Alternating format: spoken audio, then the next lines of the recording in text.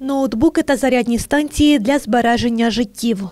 Благодійний фонд Чисті серцем підтримав Прикарпатський клінічний онкологічний центр, передавши техніку, яка забезпечить безперебійну роботу навіть під час відключень електроенергії.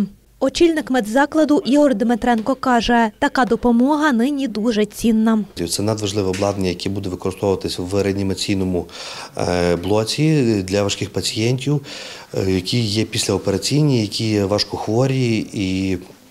Це дозволить безперебійно працювати нашому обладнанню е, для стабілізації стану пацієнта.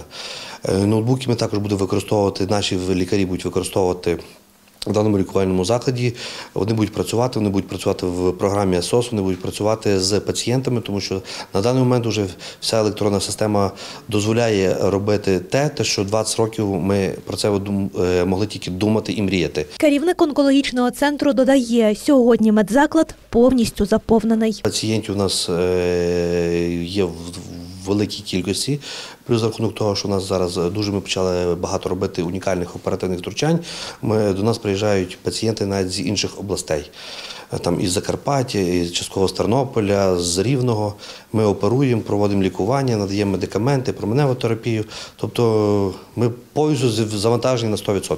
Загалом доброчинці благодійного фонду Чисті серцем у цей день передали 26 ноутбуків та 6 зарядних станцій.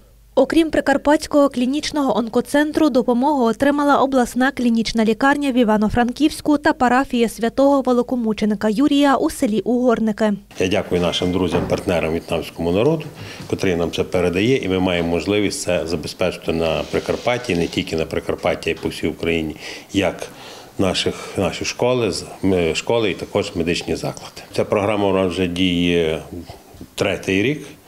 І за цей період у нас тільки, якщо взяти Івано-Франківську область і ну, Україну, то ми фондом «Чисті серцем вже було передано більше 3,5 тисяч ноутбуків і планшетів. І ми зараз далі надіємося, що і будемо продовжувати і працюємо над тим, щоб наступного року ця кількість так само ще збільшувалася і не зменшувалася. Цю допомогу вдалося передати завдяки Міністерству закордонних справ України. Юлія Торконяк, Ігор Гусак, Віктор Костенюк, телерадіокомпанія Раї.